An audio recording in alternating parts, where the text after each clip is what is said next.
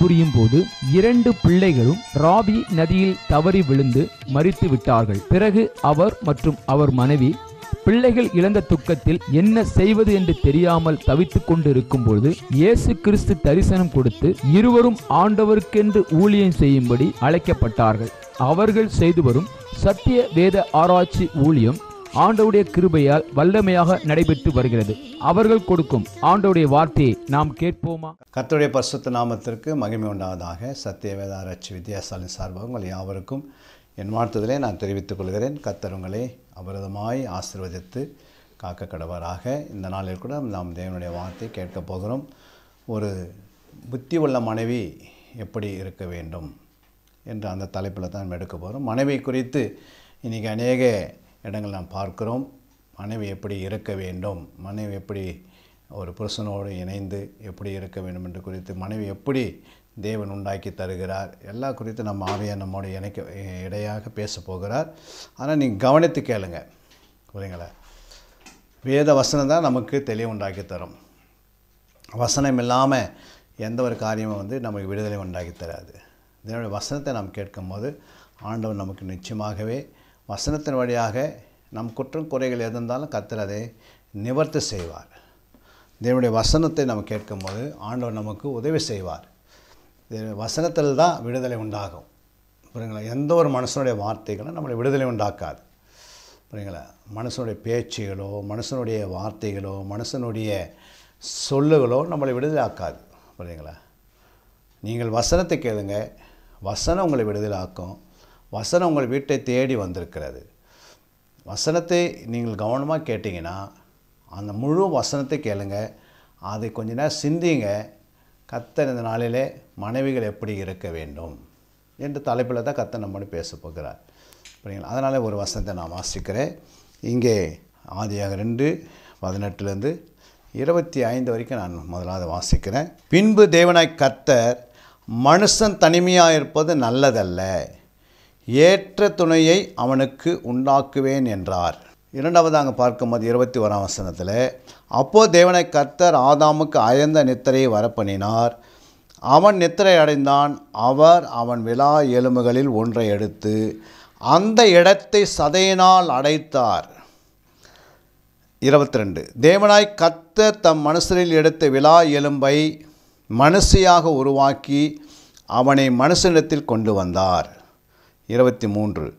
அப்போது ஆதாம் இவள் என் எலும்பிலும் எலும்பும் என் மாம்சத்திலே மாம்சமாய் இருக்கிறாள். இவள் மனசில் எடுக்கப்பட்டபடியினால் மனுஷி எண்ணப்படுவாள் என்றான். இது நிமித்தம் புருஷன் தன் தகப்பனையும் தன் தாயும் விட்டு தன் மனைவியோடு இசைந்திருப்பான். அவர்கள் ஒரே மாம்சமாய் இருப்பார்கள் இருபத்தி ஐந்தாம் வசனம். ஆதாமும் அவன் மனைவியும் ஆகிய இருவரும் நிர்வாணிகளாயிருந்தும் வெட்கப்படாதிருந்தார்கள். அன்பின் தேவ பிள்ளைகளே இந்த நேரத்திலே கத்தருடைய வார்த்தையை கேட்டுக்கொண்ட உங்கள் யாவருக்கும் கத்தர் இந்த வார்த்தையின்படி நம்மளை ஆசிர்வதிக்க வேண்டும்.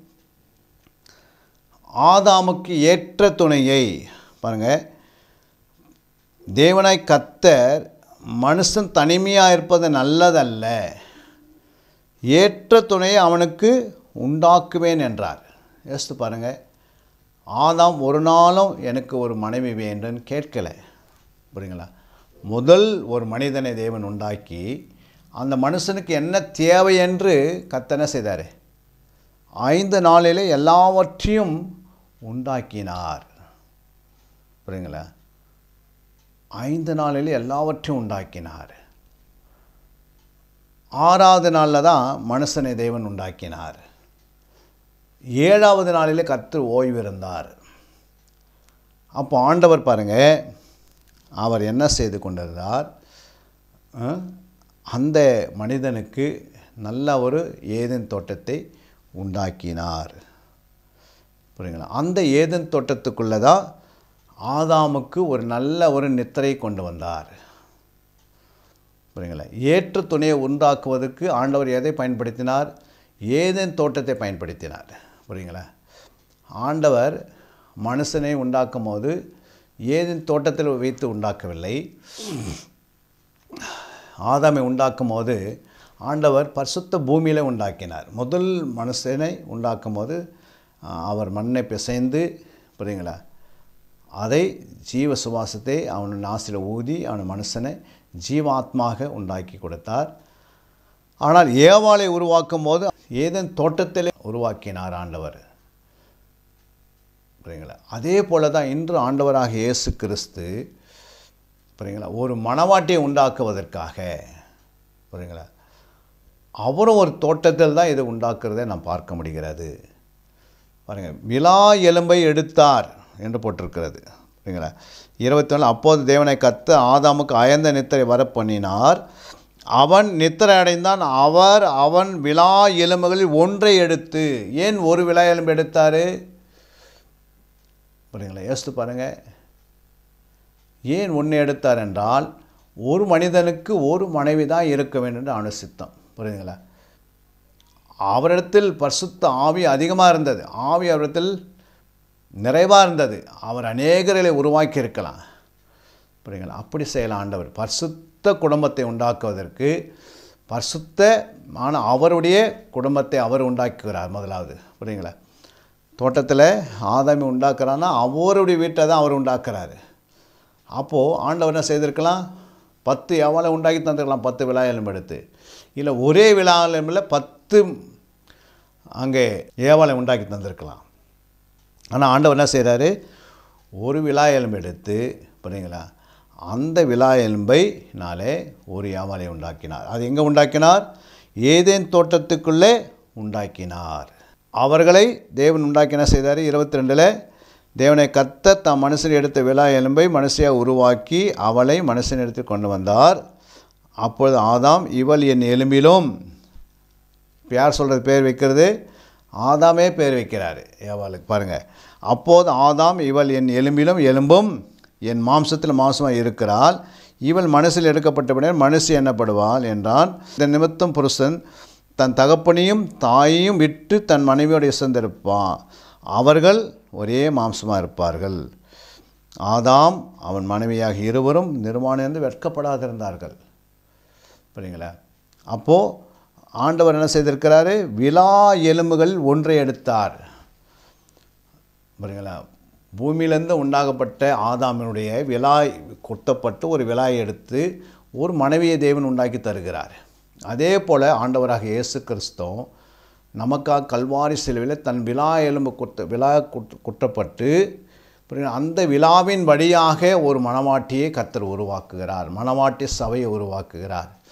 ஏசு பாருங்கள் சரீர பிரகாரமான ஒரு மனைவியை உண்டாக்க ஆண்டவர் ஒரு விழா எலும்பு எடுத்திருக்கிறார்.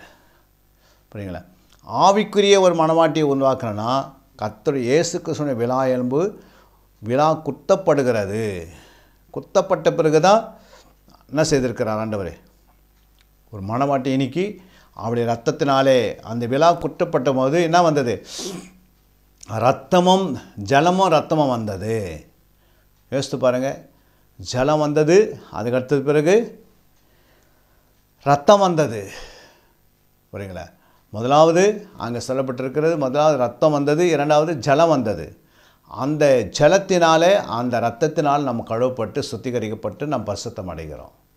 புரியுங்களா ஏசு கிருஷ்ணன் ரத்தம் இல்லாமல் யாருக்கும் நம்ம மன்னிப்பு கிடைக்க முடியுமா? இன்றைக்கி மனு உலகத்துக்கே மன்னிப்பு எங்கேருந்து உண்டாச்சுன்னா ஏசு கிருஷ்ணுடைய ரத்தத்தினால் உண்டாச்சு. ஏசு கிருஷ்ணனுடைய ரத்தம் சகல பாவங்கள் இன்றைக்கி நம்மளை சுத்திகரிக்கிறது. இன்றைக்கி இயேசு கிருஷ்ணன் ரத்தத்தை நாம் பயன்படுத்த வேண்டும். அது மூலமாக ரட்சிக்கப்படுறோம் பரிசுத்தமாக்கப்படுகிறோம் மனவாட்டியாக உருவாக்கப்படுகிறோம். இயேசு ரத்தம் இல்லாமல் நாம் ஒன்றுமே செய்ய முடியாது. புரியுங்களா ஒரு உலக பிரகாரமான ஒரு மனைவி உண்டாகிறதுக்கு ஆண்டவர் என்ன செய்தார்? ஆதாமுக்கு ஒரு மனைவி உண்டாகிறதுக்கு அவருடைய வி- ஆதாமுடைய விழாயெலுமை பயன்படுத்தினார்.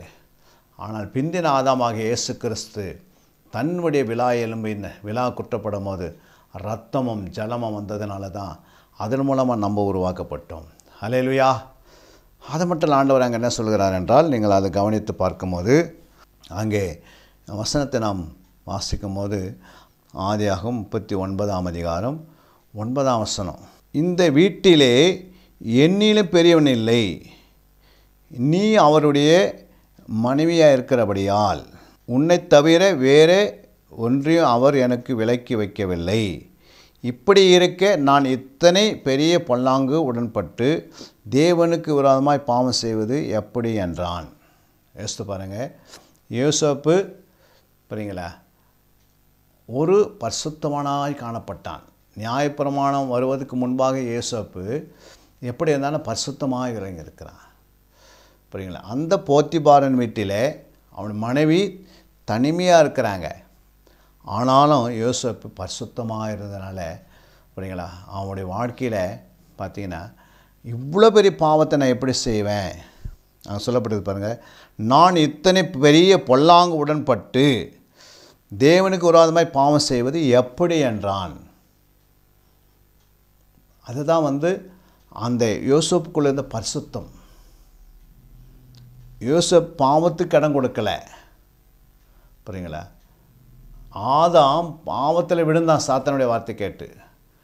புரியுங்களா ஆனால் யோசப்பு அதே சாத்தான் போத்திபாருடைய மனைவியுடைய வழியாக வந்தாலும் யோசப்பு மிக சாக்கிரதையாக இருக்கிறதை பார்க்குறோம். ஏன் இந்த வசனத்தை ஆண்டு சொல்ல? அதே நீங்கள் வாசித்து பாருங்கள் அங்கே சொல்லப்பட்டிருக்கிறது மல்கியா ரெண்டாம் அதிகாரம் பதினஞ்சாம் வசனம். அவர் ஒருவனை அல்லவா படைத்தார்? ஆவி அவரிடத்தில் பரிபூரணமாக இருந்ததே. பின்ன ஏன் ஒருவனை படைத்தார்? தேவ பக்தி உள்ள சந்ததியை பெரும்படிதானே ஆகையால் ஒருவனும் தன் இலை வயதின் மனைவிக்கு துரோகம் பண்ணாதபடிக்கு உங்கள் ஆவியை குறித்து எச்சரிக்கையாக இருங்கள் நமக்குள்ள இருக்கிற ஆவியை குறித்து நாம் எச்சரிக்கையாக இருக்கிறோன்னு ஆண்டு சொல்லியிருக்கிறார். எதற்காக சொல்லப்பட்டிருந்தால் தேவ பக்தி உள்ள சந்ததி பெரும்படி தானே ஆண்டவர் என்ன செய்தார்? ஆவி அவரிடத்தில் பரிபூர்ணாக இருந்தது. பின்ன ஏன் ஒருவனை படைத்தார்? யோசித்து பாருங்கள் அந்த ஒருவன் மூலமாக தான் யார் உருவாக்கப்படுகிறாங்க? ஏவால் உருவாக்கப்படுகிறாங்க. சரிங்களா இரண்டாவது ஒருவனை படைத்து ஒரு ஒருத்தியை உண்டாக்கி தந்தார் ஆண்டவர். அதான் பரிசுத்த ஜனம். புரியுங்களா பரிசுத்தம் ஆண்டவருக்கு மிக முக்கியம். புரியுங்களா என்னதான் இந்த உலகத்தில் எப்படி இருந்தாலும் பரிசுத்தம் இல்லாமல் தேவனை தரிசிக்க முடியாது. பரிசுத்தமான ஒரு வாழ்க்கை வாழ்ந்து கடந்த ஆலோசித்தோம் ஒன்று குறைந்த ஏழு பதினாலு எண்ணத்தேனில் அவிசுவாசியான புருஷன் தன் மனைவியால் பரிசுத்தமாக்கப்படுகிறான். ஒரு அவிசுவாசியான ஒரு புருஷன் அந்த வீட்டில் ஒரு மனைவியின் மூலமாக பரிசுத்தமாக்கப்படுகிறான் என்று சொல்லப்படுது. அதே போல் அவிசுவாச மனைவியும் தன் புருஷனால் பரிசுத்தமாக்கப்படுகிறாள். இல்லாவிட்டால் உங்கள் பிள்ளைகள் அசுத்தமாக இருக்குமே இப்போதே அவைகள் பரிசுத்தமாக இருக்கின்றன பரிசுத்தம் மிக அவசியம். ஆதாமை தேவன் உண்டாக்குனதுக்கும் பரிசுத்தம் ஆண்டவர் பார்த்தாரு. ஏவாலையும் பரிசுத்தத்தில் உண்டாக்கினார். ரெண்டு பேரும் பரிசுத்தமாக ஜீவித்தாங்க. அதே போல் ஆண்டவர் அவரிடத்தில் ஆவி அதிகமாக இருந்தாலும் பெரிய நிறைவாக இருந்தாலும் ஆண்டவர் ஒருவனை மாத்திரம் படைத்தார். அந்த ஒருவன் மூலமாக இன்னொருத்தை படைத்து உருவாக்கி ஏவாளுக்கு தேவன் ஆதாமிடத்தை கொண்டு வந்தார். ரெண்டு பேரும் நிர்வாணமாக இருந்தாங்க. ஆனால் பரிசுத்தமாக ஜீவித்தாங்க. புரியுங்களா? சாத்தான் உள்ளே வராததுக்கு வரைக்கும் அவங்க பரிசுத்தமாக இருந்தாங்க. புரியுங்களா? அப்போது ஒரு குடும்பம் எப்படி இருக்க வேண்டும்? ஒரு மனைவி எப்படி இருக்க வேண்டும்? கணவன் எப்படி இருக்க வேண்டும்? புரியுங்களா? மனைவி குறித்து நம்ம அதிகமான இந்த காரியத்தில் எடுக்க வேண்டிய வசனங்கள் என்னவென்றால் பாருங்கள் அங்கே சொல்லப்பட்டிருக்கிறது ஒன்று திமுத்தி ரெண்டாம் அதிகாரம் ஒன்பதாம் வசனத்தில் ஸ்திரீகளும் மயிரை பின்னுதலினாவது பொன்னிலாவது முத்துகளினாலாவது வெளியேற பெற்ற வஸ்திரங்களாவது தங்களை அலங்கரியாமல். நான்கு காரியங்கள் ஆண்டு சொல்கிறாரு ஒன்பதாம் வசனத்தில். ஒன்று மயிரை பின்னுதலாவது இரண்டு பொன்னினலாவது மூன்று முத்துகளினாலாவது நான்கு விலையேற பெற்ற வஸ்திரத்தினாவது தங்களை அலங்கரிக்காமல். ஒரு மனைவியானவள் ஒரு ஸ்திரியானவள் எப்படி இருக்கிறன்னு ஆண்டு சொல்கிறாரு தன்னுடைய உடையே தன்னுடைய அவங்க வஸ்திரத்திலே அதை அவங்க பரிசுத்தமாக இருக்கிறாங்களா பரிசுத்தம் இல்லாத கண்டுபிடிச்சிடலாம். புரியுங்களா? அதனால தான் ஆண்டவர் வந்து அவங்க மயிரை குறித்து பேசுகிறாரு பொண்ணை குறித்து பேசுகிறாரு முத்துக்களை குறித்து பேசுகிறாரு விலையேற்பட்ட வஸ்திரத்தை குறித்து பேசுகிறாரு இப்போ நாலு காரியம் ஏன் பேசுன ஆண்டவர்? யோசிச்சு பாருங்கள் இந்த நாலு காரியம் அவங்களுக்கு அசுத்தத்தை கொண்டு வரும். இன்று நாம் சபைக்குள்ளே பார்க்குறோமா? இப்படி போய் யாராவது இப்படி ட்ரெஸ்ஸை போட்டுன்னு உட்காந்தா என்ன அர்த்தம்? யோசித்து பாருங்கள் இது புதிய ஏற்பாட்டில் சொன்ன வசனம் தான். பழைய ஏற்பாட்டில் கூட கிடையாது. புதிய ஏற்பாட்டில் அப்போஸ் நாயக பவுல் தீமத்துக்கு எழுதுகிறாரு சரிங்களா இரண்டாவது அங்கே நாம் வாசிக்கும் போது பாருங்கள் நீதிமொழிகள் முப்பத்தொன்று இருபத்தி ரெண்டு ரத்தின கம்பளங்களை தனக்கு உண்டு பண்ணுகிறாள் மெல்லிய புடவை ரத்தாமரம் அவள் உடுப்பு. இந்த குணசாலியான ஸ்திரீகளுடைய வஸ்திரம் எப்படி இருக்குதுன்னா அவங்க தானே அதை உண்டு பண்ணுகிறாங்க. அப்படின்னு போட்டப்பட்டிருக்கு தானே உட்காந்து அதை என்ன பண்ண கருத்தாக செய்து அவங்க குணசாலியாக இருக்கிறனால அவங்களுடைய உடுப்பு எப்படி இருக்குது? ரத்தின கம்பளங்களை தனக்கு உண்டு பண்ணுகிறாள். மெல்லிய புடவையும் ரத்தாமரமும் அவள் உடுப்பாக இருக்கிறது. ஏசைய மூன்று பதினாறு சொல்லுகிறது பின்ன கத்த சொல்லுகிறதாவது சியோன் குமாரத்திகள் அகந்தியாக இருந்து சியோன் குமார்த்தி எப்படி இருந்திருக்கிறாங்க? அகந்தியாக இருந்து கழுத்தை நெறித்து நடந்து கண்களால் மரட்டி பார்த்து ஒய்யாரமாய் நடந்து தங்கள் கால்களில் சிலம்பு ஒலிக்கு தெரிகிறார்கள். யோசித்து பாருங்க. ஒரு சியோன் குமாரத்தி எப்படி இருக்கணும்னா பரிசுத்தமாக இருக்கணும். ஆனால் ஆண்டவர் கொடுக்குற சர்டிஃபிகேட் பாருங்கள் எப்படி இருக்குது நாம் நம்ம சபையை பார்த்து நம்ம சபைக்குள்ளே இப்படி இருக்கிறாங்கன்னா ஆண்டவருடைய சர்டிஃபிகேட் எப்படி ஆண்டவர் கொடுப்பாருன்னு இப்படி தான் கொடுப்பார் ஆண்டவர் அவங்களுக்கு. புரியுங்களா? பரிசுத்தத்தை எதிர்பார்க்குறார் ஆண்டவர். ஆதாம ஏவாளுக்குள்ள அந்த பரிசுத்தம் காணப்பட்டது. யோசப்பு ஒரு இடத்துக்கு போகிறான். அந்த இடத்துல அவன் பரிசுத்தமாக இருக்கும் ஜீவிக்கணும்னு அவனுக்குள்ள அப்படிப்பட்ட ஒரு பரிசுத்தத்தை பார்க்க முடிந்தது. புரியுங்களா குணசாலிய ஸ்திரீ எப்படி இருக்குது குறித்து நாம் பார்க்குறோம். மூன்றா ஒன்று பேதரு மூன்றாம் அதிகாரம் மூன்றாம் வசனத்தில் எப்படி எழுதலாம் பாருங்கள் பேதரு மயிரை பின்னி பொன்னாபரணங்களை அணிந்து உயர்ந்த வஸ்திரங்களை உடுத்தி கொள்கிறதலாகிய புறமான அலங்கரிப்பு உங்களுக்கு அலங்காரமாயிராமல். எது புறமான அலங்கரிப்பு? ஒரு மனைவிக்கு எது புற புறமான அலங்கரிப்பு? புரியுங்களா மயிரை பின்னிருக்கிறாங்க பொன்னாபரங்களை அணிந்திருக்கிறாங்க. உயர்ந்த வஸ்திரங்களை உடுத்தி கொள்ளுதலாகிய இதுதான் புறமான அலங்கரிப்பு. இந்த அலங்கரிப்பு தேவன் பார்க்கலை. உள்ளான மனிதன். உள்ளானதே மனிதனை ஆண்டவர் செய்கிறார் வெளிப்புறமத்தை பார்த்து ஆண்டவர் மயங்கி விட மாட்டார். மனசு மயங்கிடலாம். வெளியே இருக்கிற அந்த வஸ்திரங்களை பார்த்தோ வெளியே போட்டிருக்கிற பொன்னையோ வெள்ளியோ எதை பார்த்தாலும் மனுஷன் மயங்க மயங்கிடலாம். ஆனால் ஆண்டவர் இருதயத்தை பார்க்கிறவர். நம்முடைய இருதயத்தை பார்த்து தான் ஆண்டவனை செய்கிற எடை போடுவார். மனுஷன் சரியத்தை பார்த்து சரியத்தை மேலே இருக்கிறத பார்த்து எடை போட்டுருவான். சத்தியத்தை அறிந்தவர்கள் வெளிப்புறத்தையும் அவங்க என்ன பண்ணுவாங்க? கண்டுபிடிச்சிடுவாங்க உள்புறத்தில் எந்த நிலைமையில் இருக்கோ அதையும் கண்டுபிடிக்கலாம். ஏன்னா ஆண்டவர் ரகசியங்களை தேவ ஊழியர்களுக்கு தேவன் வெளிப்படுத்துவார். புரியுதுங்களா? நாம் எப்படி நிலைமையில் இருக்கிறோம்? புரியுங்களா அது மட்டும் இல்லை இன்னொரு வசனம் தாங்க வாசிக்கும் போது இறைமை நான்காம் அதிகாரம் முப்பதாம் வசனம் சொல்கிறது பாழாய் போன நீ இப்போது என்ன செய்வாய்? நீ ரத்தாம்பரம் உடி உடுத்தாலும் பொன்னாம்பரங்களால் உன்னை சிங்காரித்தாலும் உன் கண்களில் மையிட்டு கொண்டாலும் வீணாய் உன்னை அழகுப்படுத்துவாய் சோரநாயகர் உன்னை அசட்ட பண்ணி உன் பிராணனை வாங்க தேடுவார்கள். என்ன நிலைமை பாருங்கள் வீணாய் உன்னை அழகுப்படுத்துகிறாய் சில பார்த்தீங்கன்னா அழகுக்கே பணம் பாதி பாதி போயிடும். ரட்சிக்கப்பட்டு ஆண்டவரை ஏற்றுக்கொண்டு நான் ஆண்டவருக்குள்ளே இருக்குன்னு சொல்லியும் வீணாய் என்ன செய்கிறாங்க அங்கே? தன்னை அழகுப்படுத்தி கொள்கிறாங்க. அதனால தான் ஆண்டவர் தெளிவாக சொல்கிறாரு கத்தருக்கு பயப்படுகிற ஸ்திரியை புகழப்படுவாள். நீதிமொழிகள் முப்பத்தொன்று முப்பதில் வாசிக்கிறோம். அழகு வீண் புரியுங்களா? சௌந்தர வஞ்சனம் உள்ளது.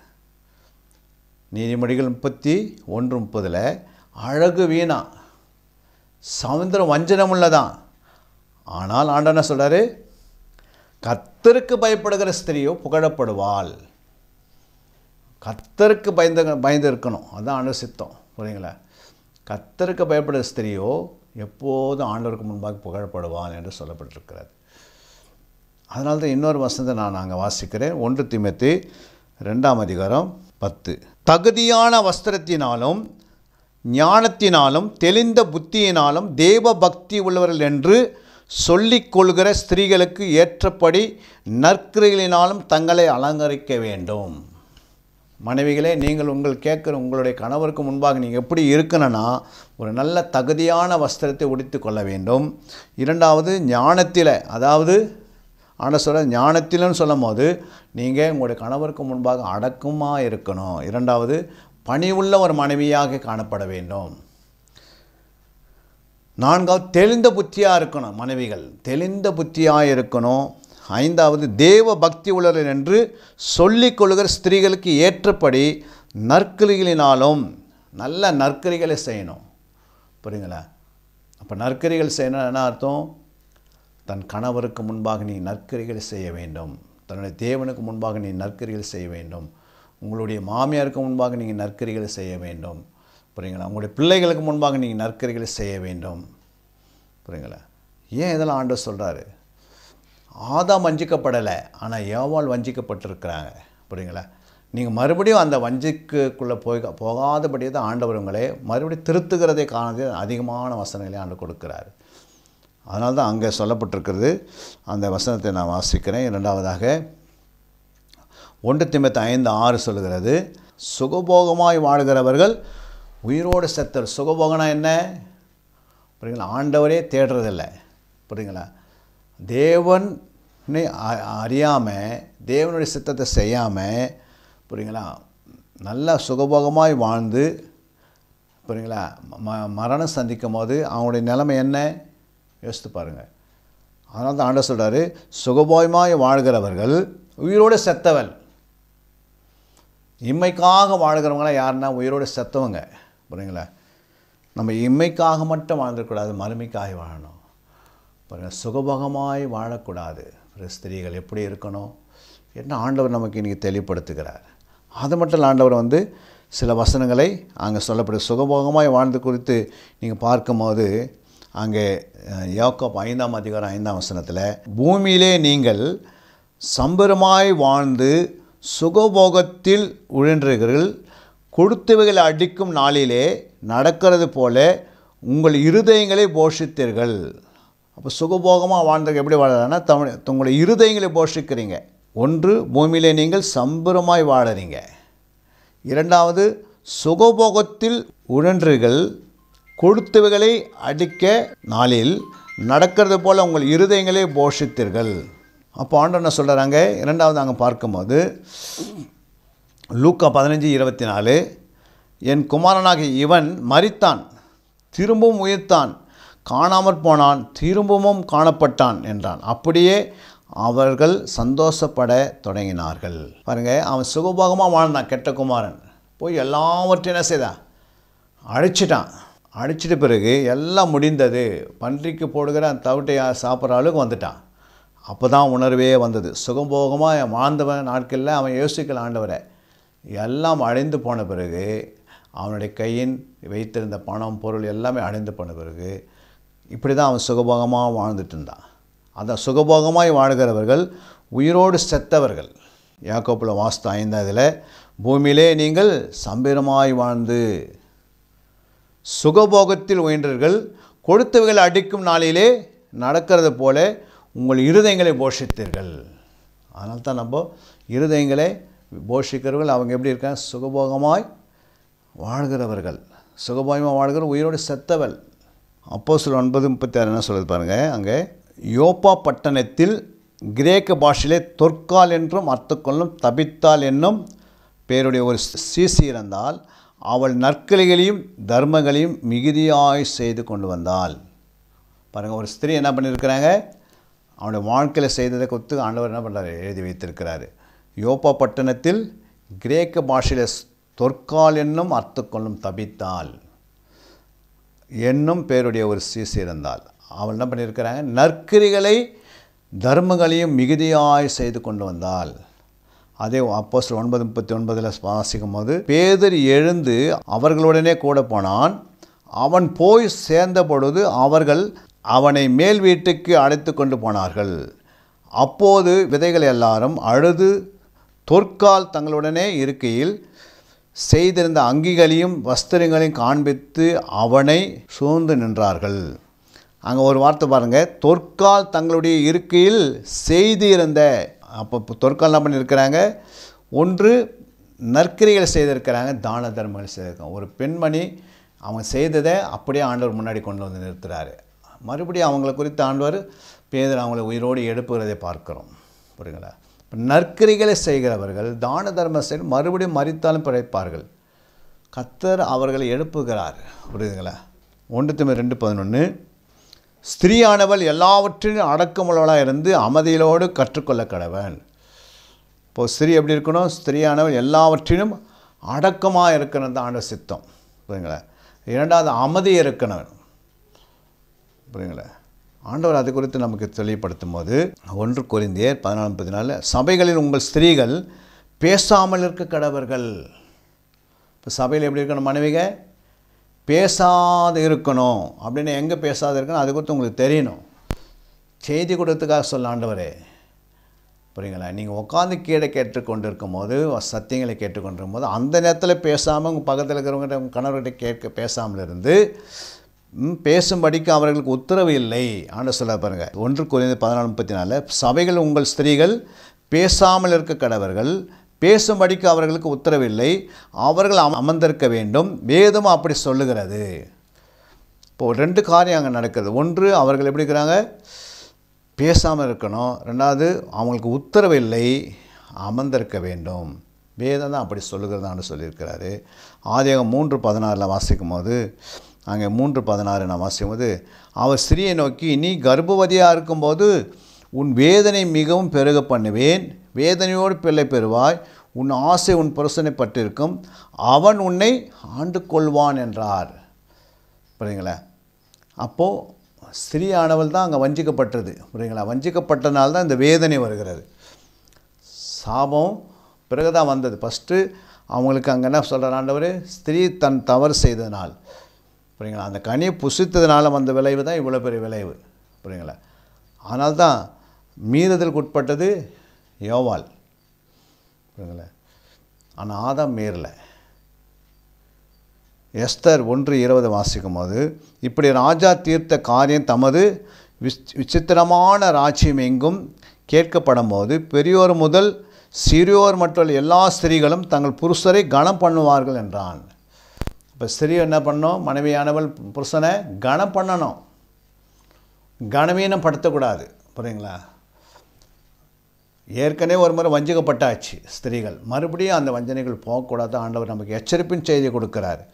ஒன்று குறைந்த பதினொன்று மூணில் ஒவ்வொரு புருஷனுக்கும் கிறிஸ்து தலையாக இருக்கிறார் என்றும் ஸ்திரீக்கு புருஷன் தலையாக இருக்கிறார் என்றும் கிறிஸ்துக்கும் தேவன் தலைவராக இருக்கிறார் என்றும் நீங்கள் அறிய வேணும் என்று விரும்புகிறேன். அப்போது ஒரு தேவனுடைய பிள்ளைகளும் கிறிஸ்துவுக்கு என்ன பண்ணக்கூடாது? எதிர்த்து நிற்கக்கூடாது எதிர்த்து பேசக்கூடாது. கிறிஸ்துக்கு முன்பாக புருஷர்கள் அமைதியாக இருக்க வேண்டும். அதே போல் அந்த புருஷனுக்கு முன்பாக அங்கே மனைவிகள் அமைதியாக இருக்க வேண்டும் தான் ஆண்டு சித்தம் புரியுங்களா இரண்டாவது அது மட்டுமல்ல ஒன்று பேர் மூணு ஐந்து. இப்படியே பூர்வத்தில் தேவனிடத்தில் நம்பிக்கையாக இருந்த பரிசுத்த ஸ்திரீகளும் தங்களுடைய புருஷர்களுக்கு கீழ்ப்படிந்து தங்களை அலங்கரித்தார்கள். இது ஆண்டவர் வந்து ஒரு கட்டளையாக சொல்லலை.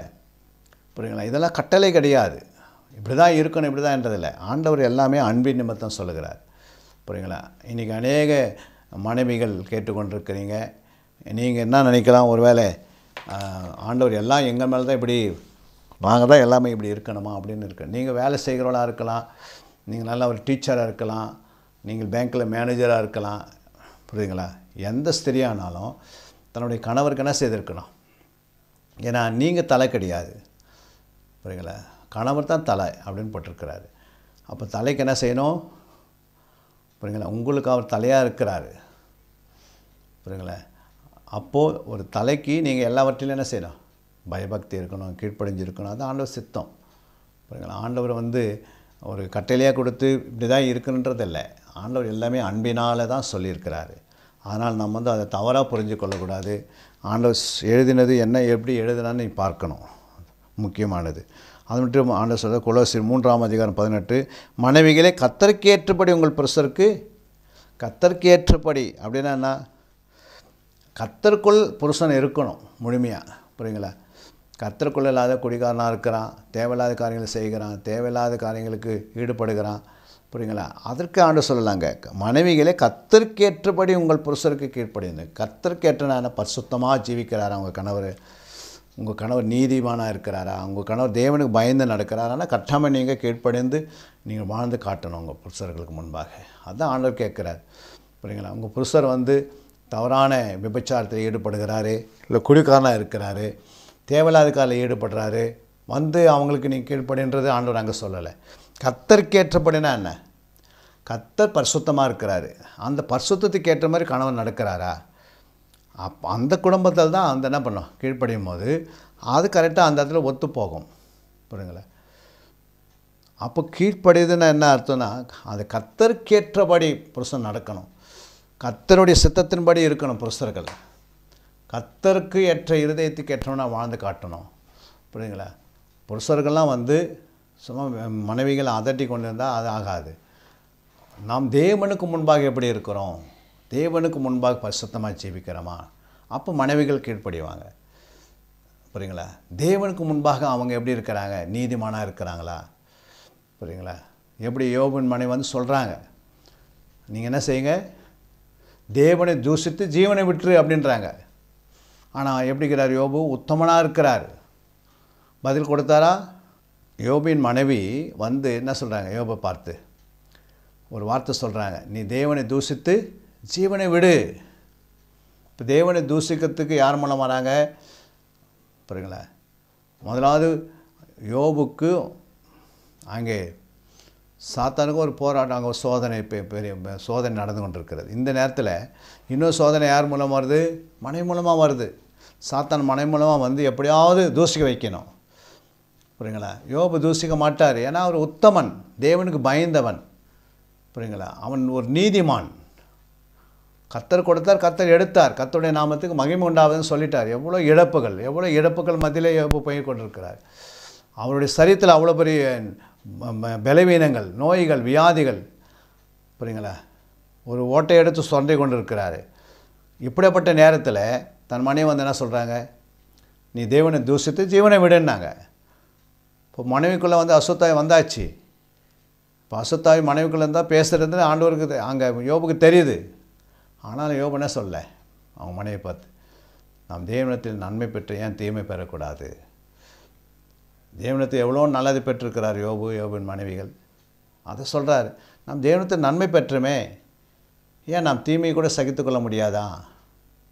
அப்படின்னு சொன்ன பிறகு பிசாசுக்கு அங்கே இடம் கிடைக்கல. கத்தர் கொடுத்தார் கர்த்தர் எடுத்தார்னா பிசாசுக்கு இடம் கிடைக்காது புரியுங்களா? நாம் தேவனத்தை நன்மை பெற்றுமே ஏன் தீமை பெறக்கூடாதுன்னு சொன்ன பிறகு சாத்தன் தானே ஓடிவிடுவான் அதை தான் ஆண்டவரை வந்து அங்கே ரகசியம் பேசுகிறாரு. அது மட்டும் ஆண்டவர் என்ன சொல்லு தீத்து ரெண்டாம் அதிகாரம் ஐந்தாம் வசனத்தில் தெளிந்த புத்தி உள்ளவர்களும் கற்புள்ளவர்களும் வீட்டில் தரித்திருக்கிறவர்களாகவும் நல்லவர்களாகவும் தங்கள் புருஷருக்கு கீழ்ப்படுகிறவர்களாக இருக்கும்படி அவர்களுக்கு படிப்பிக்கத்தக்க நற்காரியங்களை போதிக்கிறவளாக இருக்கவும் முதிர் வயது உள்ள ஸ்திரீகளுக்கு புத்தி சொல்வர்களாக இருக்கணும். அப்போ என்ன பண்ணுறீங்க ஆண்டு என்ன சொல்கிறாரு அந்த வசனத்தை நான் வாசிக்கும் போது புருஷருக்கு கீழ்ப்படுகிறவளாக இருக்கும்படி அவர்களுக்கு படிப்பிக்கத்தக்க நற்காரியங்களை போதிக்கிறவளாக இருக்கணும். நல்ல காரியங்களை எடுத்து புருஷர்களுக்கு போதிக்கிற அளவுக்கு மனைவி இருக்கணும்னு ஆண்டவர் எழுதி வச்சிருக்கிறாரு. புரியுங்களா? உங்கள் புருஷர்களுக்கு நீங்கள் கீழ்ப்படியது மட்டும் இல்லை போதிக்கிறவளாக இருக்கலான்னு தான் ஆண்டு சொல்கிறார் நற்காரியங்களை போதிக்கணும்னு தான் ஆண்டு சொல்கிறார் அப்போ புருஷருக்கு நல்ல காரியத்தை எடுத்து நீ கொடுத்தீங்கன்னா அதாவது அவங்க தான் குணசாலையும் ஸ்திரீ.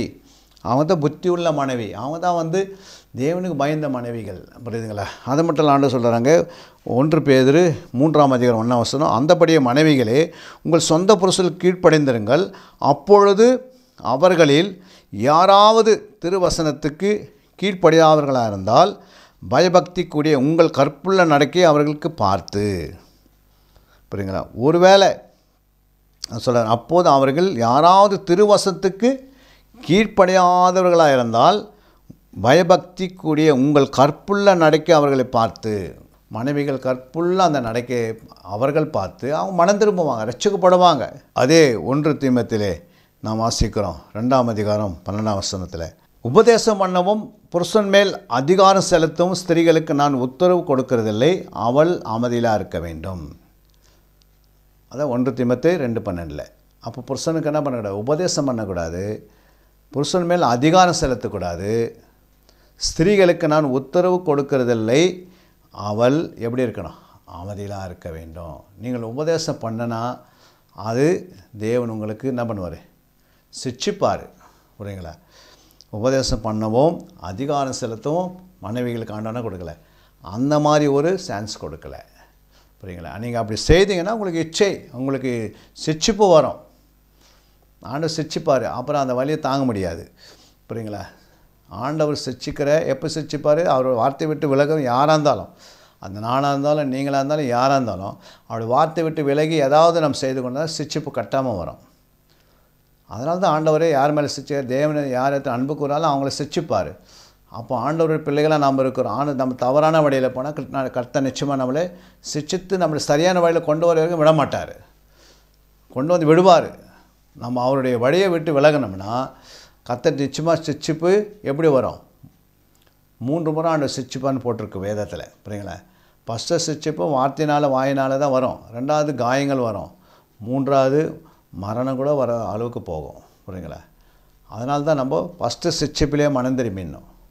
தவறு செய்கிறேன்னா நமக்கு தெரியும். ஒவ்வொரு மனுஷனுக்கும் நம்ம என்ன செய்யணும் அவனுடைய இருதயமே பேசி கொண்டு இருக்கோம் நம்முடைய இறுதி மனசாட்சி நமக்கு நம்ம என்ன செய்யணும் பேசி கொண்டே இருக்கோம் ஒன்று குறைந்த பதினாலு முப்பத்தி நாலு சொல்லப்பட்டிருக்க ஒரு வசனத்தை வாசிக்கிறேன்.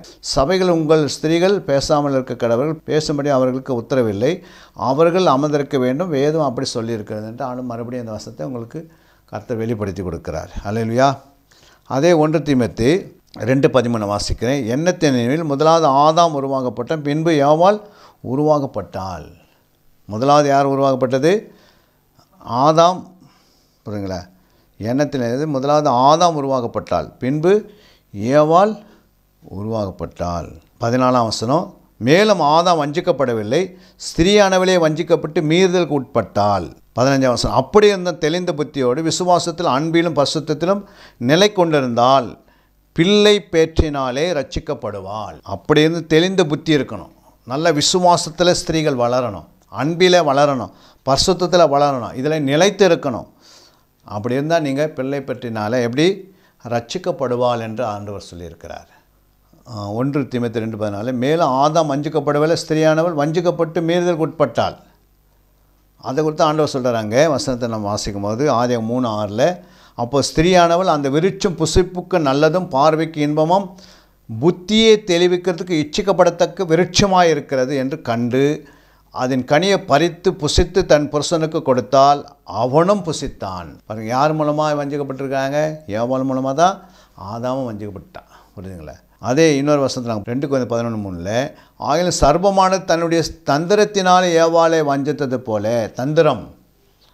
சாத்தானுக்கு இருக்கிற பெரிய ஒரு குணம் எதுனா தந்திரம். புரியுங்களா? அவனுடைய தந்திரத்தை நாம் அறிந்திருக்கணும். புரியுங்களா? வேதம் அப்படி தான் சொல்லுது.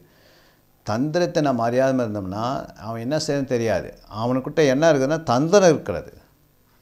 புரியுங்க? தந்திரத்தினால் ஏவலை வஞ்சித்தது போல உங்கள் மனதும் கிறிஸ்து பற்றி உண்மை நின்று விளங்கும்படி கெடுக்கப்படுமோ என்று பயந்து இருக்கிறேன் என்று அப்போஸ் நாயக பவுல் குறைந்திருக்கிறதுன்னு சொல்கிறார் யோசித்து பாருங்கள் நம்முடைய நிலைமை நம்ம எப்படி இருக்கணும்? ஏ- ஏவாளை வஞ்சித்தது போல ஆண்டவர் வசனம் சொல்ல போகிற ஏவாளை வஞ்சித்தது போல உங்கள் மனது நம்முடைய மனது கிறிஸ்து பற்றி உண்மை நின்று விளங்கும்படி புரியுங்களா? கெடுக்கப்படுமோ? கெடுக்கப்படுமோ? புரியுங்களா? உங்கள் இருதயத்தை சாத்தன் வஞ்சிக்கிட்டு வருவான் ஆனால் நாம் ஜெபத்தில் காத்திருக்கணும். புரியுங்களா? புத்தியுள்ள ஸ்திரீ தன் வீட்டை கட்டுக்கிறாள்னா ஜெபத்தில் நிலைத்திருந்தால் தான் முடியும். ஜெபம் பண்ணலாம் அப்படின்னா சா- சாத்தானுக்கு நம்ம ஜெபித்தோம்னா சாத்தான் நம்மளை தொட முடியாது. ஜெபம் பெரிய ஒரு ஆயுதம். புரியுங்களா? ஜெபத்தில் நாம் நிலைத்திருக்க வேண்டும். புரியுங்களா? அதான் ஆதியாகும் மூன்றாம் மதி பன்னெண்டாம் அதற்கு ஆதாம் என்னுடனே இருக்கும்படி தேவரி தந்த ஸ்திரியானவள் அவ்விருட்சத்தின் கனியை எனக்கு கொடுத்தாள் நான் புசித்தேன் என்றான் எப்படி சொல்கிறேன் பாருங்க. ஆதாம் என்னோடு கூட என்னோடு இருக்கும்படி தேவரி தந்த தேவர் தான் தந்தார் அந்த ஸ்திரியை. ஆதாம் கேட்கலல்ல? ஆதாம் கேட்டால் எனக்கு ஒரு ஸ்திரீ கொடு எனக்கு ஒரு மனைவி உண்டாக்கித்தேன்னு ஆதாம் கேட்கல. இப்போ ஆதாம் சொல்கிறார் பாருங்க அதற்கு ஆதாம் என்னோட என்னுடனே இருக்கும்படி தேவரி தந்த ஸ்திரியானவள் அவ்விருட்சத்தின் கனியை எனக்கு கொடுத்தால் நான் புசித்தேன் என்றான். யோசித்து பாருங்கள் அங்கே தேவரே தந்த ஸ்திரியானவன் சொல்லப்பட்டது. இப்போ முழு ஆதாம் ஏவாலும் முழுமையாக பாவத்தில் விழுந்துட்டாங்க. புரியுங்களா தோட்டத்திட்டு வெளியே வந்துட்டாங்க. நாம் எப்படி இருக்கு பாருங்கள் எப்படி வஞ்சிக்கப்படுகிறாங்க? அது குறித்து ஒரு ரெண்டு வசனம் வாசிக்கும் போது அவங்க எப்படி வஞ்சிக்கப்பட்டாங்க என்று பார்க்கும்போது அங்கே குலசு ரெண்டாம் அதிகாரம் நாலாம் வசனம் சொல்கிறது அவங்க வஞ்சிக்கப்படுகிற விதம் எப்படின்னு. ஒருவனும் நய வசனிப்பினாலே உங்களை வஞ்சியாதபடிக்கு இதை சொல்லுகிறேன். நய வசனம் புரியுங்களா? உங்களை நயம் காட்டினா நீங்கள் என்ன பண்ணக்கூடாது? அதுக்கு இடம் கொடுக்கக்கூடாது. வஞ்சிக்கிறதா தான் விதம். புரியுங்களா? ஒரே நாளில் வந்து ஏவாளே சாத்தானா பண்ண இந்த படத்தை புசின்னு சொல்லி ஒரே நாளில் முடிக்கலை வேலையை.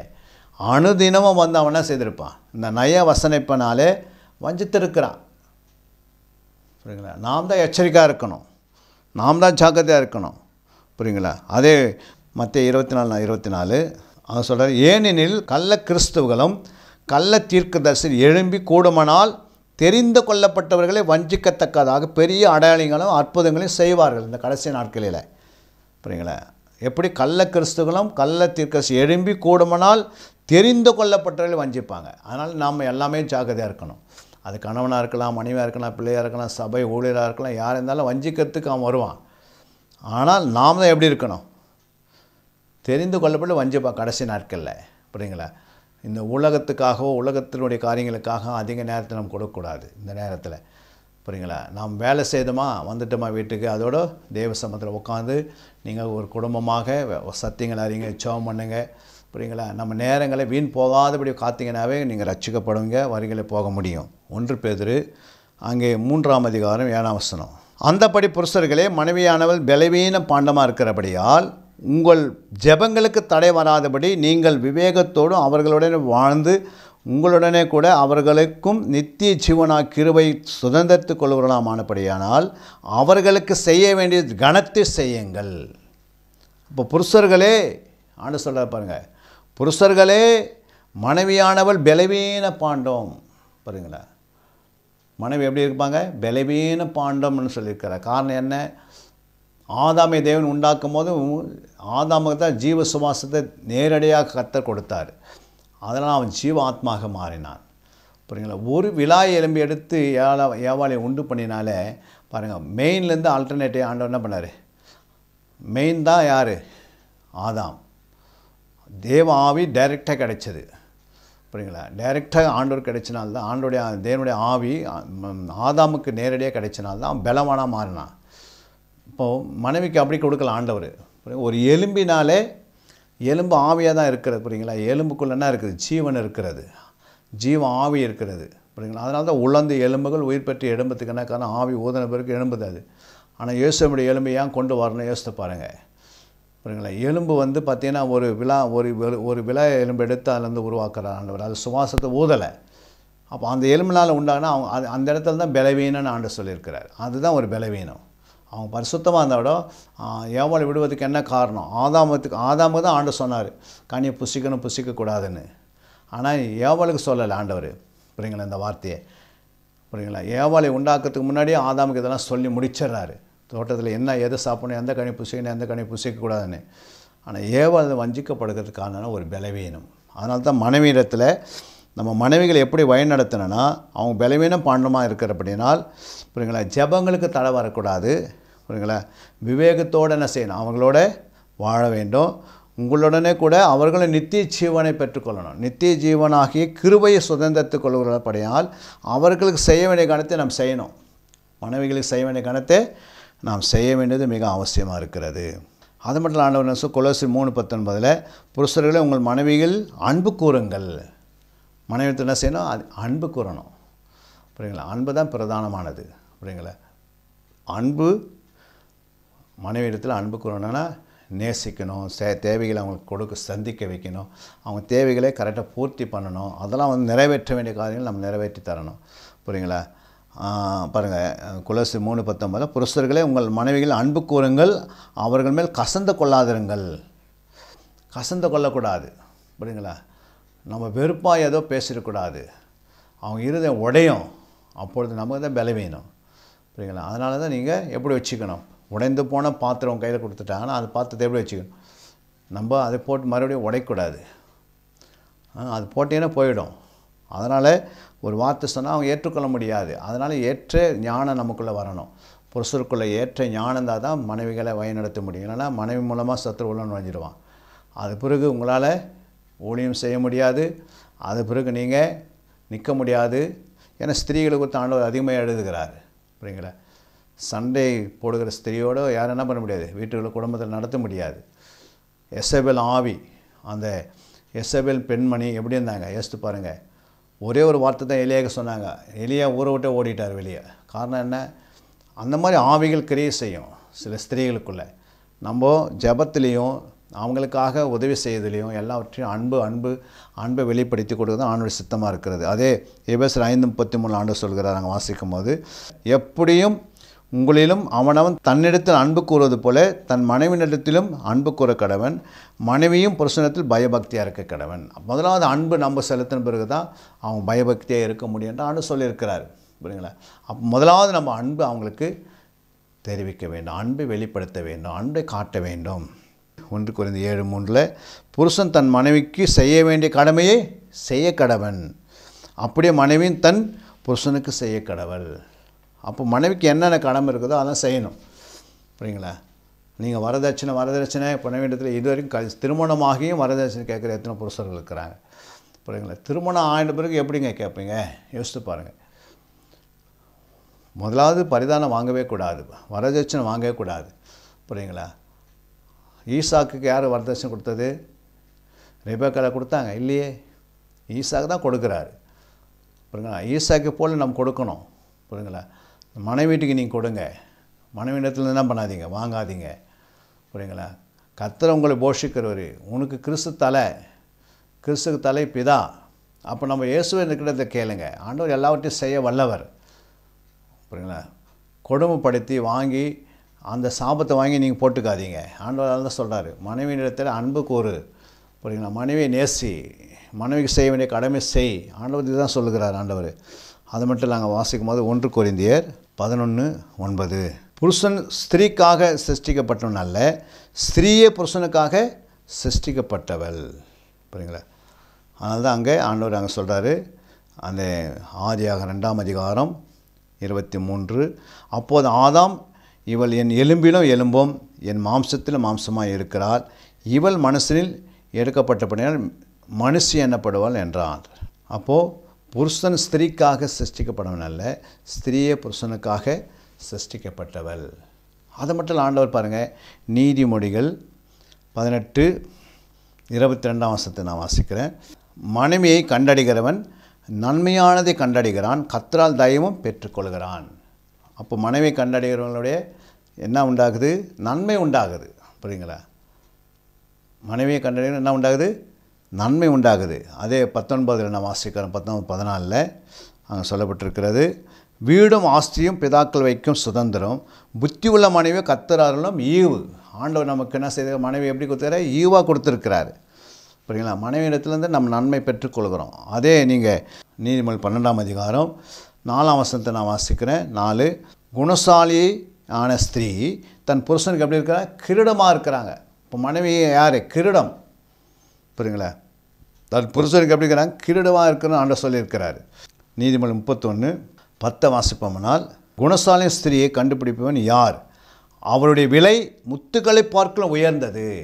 அப்போ மனைவி யார்? விலை பார்க்கணும். அவளுடைய விலை முத்துக்களை பார்க்கலாம் உயர்ந்தது. முப்பத்தி ஓராம் வருஷம் சொல்கிறது அதே நீ வாசிங்க. நீதிமன்றம் முப்பத்தொன்று முப்பத்தொன்று அவள் கைகள் பலன் அவளுக்கு கொடுங்கள். அவளுடைய செய்கள் வாசல்களில் அவளை புகழ கடவது. புரியுங்களா மனைவியை நம்ம என்ன செய்யணும் புகழணும். புரியுங்களா அதனால தான் ஆண்டவர் தெளிவுபடுத்திட்டார். புரியுங்களா அதனால் மனைவிடத்துலேருந்து நிறைய நன்மைகளை கத்தர் கொடுத்துருக்கிறாரு. கிரடுன்னு சொல்லியிருக்கிறாரு ஈவுன்னு சொல்லியிருக்கிறாரு. புரியுங்களா யோசித்து பாருங்கள் நன்மை தயவும் மனைவி மூலமாக வருகிறன்னு சொல்லியிருக்கிறார் ஆண்டவர். இதனால் இந்த வசந்தை கேட்டு யாவரையும் கத்தர் ஆசிர்வதிக்கணும். நீங்கள் ஆசீர்வாதமாக இருக்கணும். அது ஆண்டவர் சித்தமாக இருக்கிறது. நாம் கண்களை மூடி ஒரு மனைவியானவள் எப்படி இருக்க வேண்டும்? என்று தான் ஆண்டவர் நமக்கு இந்த நாளில் பேசினார். இந்த வார்த்தையில் கேட்ட யாவரையும் கர்த்தர் ஆசிர்வதிக்கும்படியாக ஒரு ஒரு நிமிடம் நாம் கண்களை மூடி செபிக்கலாம் அன்பின் பரலோகத்தின் பிதாவே இந்த ஆசிர்வதிக்கப்பட்ட நேரத்துக்கு நன்றி ஆண்டவரே. மனைவி குறித்து எங்களுக்கு சில வசனங்களை குறித்து எங்களுக்கு கற்றுக் கொடுத்தீர் ஆண்டவர் அதுக்கு நன்றி. ஆண்டவர் இந்த நாளில் எத்தனை ஸ்திரீகள் இதை பார்த்து கொண்டிருக்கிறார்களோ அத்தனை ஸ்திரீகளையும் நீ பலப்படுத்தி. ஆண்டவரே இந்த வசனத்தின்படி அவர்களை பலப்படுத்துங்கப்பா வசனம் அவர்களை தேற்றட்டும். ஒரு நாளும் அவர்கள் உங்களுடைய வார்த்தைக்கு கீழ்ப்படிந்தே நடக்க உதவி செய்வீராக. தவறுக்கோ இடம் கொடாதபடிக்கு சாத்தானுக்கு இடம் கொடாதபடிக்கு ஆண்டவரை எல்லாவற்றிலும் தன்னுடைய கணவனுக்கு கீழ்ப்படிந்த அமைதியுள்ள ஒரு ஸ்திரீயாக ஆண்டவர் புத்தியுள்ள ஸ்திரீயாக குணசாலியான ஸ்திரீயாக ஆண்டவர் தேவனுக்கு பயப்படுற ஸ்திரீயாக ஆண்டவர் தன் வீட்டை கட்டி எடுப்புகிற ஸ்திரீயாக புத்தியுள்ள ஸ்திரீயாக ஆண்டவரை ஏற்படுத்தும்படியாக நான் செபிக்கிறேன் ஆண்டவரே. ஆ மனைவியின் மூலமாக பல நன்மைகளை குறித்து எழுதியிருக்கிறேன் ஆண்டவரே. புருஷனுக்கு மனைவி ஒரு ஈவாக கொடுத்திருக்கிறீர் ஒரு கிரீடமாய் கொடுத்திருக்கிறீர் தயவாக நன்மையாக கொடுத்திருக்கிறீர். அதற்காக நன்றி ஆண்டவரே. கேட்ட யாவரையும் நீர் ஆசீர்வதித்து பலப்படுத்தி உற்சாகப்படுத்தி ஆனால் இந்த சத்தியங்கள் எங்கெல்லாம் போகிறதோ அத்தனை இடத்துல மனைவிகள் பலப்பட ஆண்டவரே ஸ்திரீகள் பலப்பட ஆண்டவரை அவங்களை ஆசீர்வதித்து நாங்கள் ஜெபிக்கிற ஆண்டவரே. கத்தோடைய கரம் ஒவ்வொரு ஸ்திரீகள் மேலும் தன் வீட்டை கட்டி எழுப்புகிற ஸ்திரீகளாக இருக்க நீர் உதவி செய்யுங்க. எல்லா துதிய கணமுக்கு செலுத்துகிறோம் உம்முடைய நாமம் மட்டும் மகிழ்ப்பட்டதுக்கு நன்றி. இயேசு நாமத்தில் நல்ல பிதாவே. ஆமீன். ஹலேலுயா ஹலேலுயா ஹலேலுயா கத்திரவங்களை ஆசத்து காக்க கிடவராக ஆமீன். உம் கிருபை எனக்கு போதும். உம் கிருபை எனக்கு போதும். உன் கிருபை எனக்கு போதும். என் பலவீனத்தில் உம்பலனோ பூரணமாய் விளங்கும். என் பலவீனத்தில் உம்பலனோ பூரணமாய் விளங்கும். உன் கிருபை எனக்கு போதும். உம் கிருபை எனக்கு போதும். தாழ்வில் இருந்தாலும் கிருப போதும். கண்ணீரில் மூழ்கினாலும் கிருப போதும். வேதனை இருந்தாலும் கிருப போதும். ஒண்ணுமே இல்லைனாலும் கிருப போதும். ஏசப்பா நீங்க மட்டும். ஏசப்பா நீங்க மட்டும் ஏன் கூட இருந்தா போதுமே கிருப போதுமே.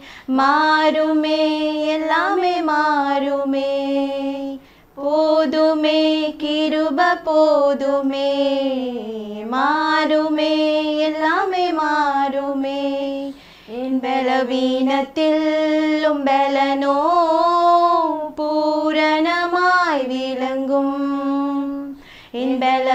பலவீனத்தில் உம்பலனோ பூரணமாய் விளங்கும் மலைகள் விலகினாலும் கிருப போதும் பர்வதங்கள் பெயர்ந்தாலும் கிருப போதும் தண்ணீரை கடந்தாலும் கிருப போதும் அக்கினியில் நடந்தாலும் கிருப போதும் ஏசப்பா நீங்க மட்டும். ஏசப்பா நீங்க மட்டும். ஏன் கூட இருந்தா போதுமே கிருப போதுமே. மாறுமே எல்லாமே மாறுமே. போதுமே கிருப போதுமே. மாறுமே எல்லாமே மாறுமே. என் பலவீனத்தில் உம்பலனோ? பூரணமாய் விளங்கும். என் பலவீனத்தில் உம்பலனோ? பூரணமாய் விளங்கும். அன்பிற்குரியவர்களே சத்திய வேத ஆராய்ச்சி வித்யாசாலை தரிசன ஊழியம் ஒன்று வடமாநிலத்தில் முன்னூறு திருச்சபைகளை உருவாக்குதல். இரண்டு மாதம் ஒருமுறை எழுப்புதல் உருவாக்கும் எழுப்புதல் கூட்டம். மூன்று ஊழியர்கள் சபை தலைவர்கள் சுவிசேஷர்களுக்கென கருத்தரங்கு அதாவது சத்திய வேத ஆராய்ச்சி நேரம். நான்கு டிவி ஊழியம். ஐந்து பத்திரிகை ஊழியம். ஆறு சிடி டிவிடி ஊழியம். ஏழு பவர் கேம்ப் அக்னி அபிஷேக முகாம். எட்டு உபதேச ஆராய்ச்சி கருத்தரங்கு ஊழியம். ஒன்பது நலிந்த குழந்தைகள் இல்லம். பத்து இருபத்தி நான்கு மணி நேர ஜெப மையம். பதினொன்று சத்திய தேவ ஆராய்ச்சி கல்லூரி. பனிரெண்டு சிறுவர்கள் உருவாக்கும் ஊழியம். பதிமூன்று மருத்துவ முகாம். பதினான்கு ஜெயில் ஊழியம். பதினைந்து கைப்பிரதி ஊழியம். பதினாறு கிராம ஊழியம். பதினேழு மிஷனரியை உருவாக்கும் ஊழியம். பதினெட்டு நன்றி துதி ஆராதனை கூட்டங்கள். பத்தொன்பது சமூக நலப்பணிகள் ஊழியம். இருபது இன்டர்நெட் மூலமாக ஆன்லைன் படிப்புகள். இது விரைவில் வரவிருக்கின்றது. இருபத்தி ஒன்று தேவனுடைய வருகைக்கு ஆயத்தப்படுத்துதல்.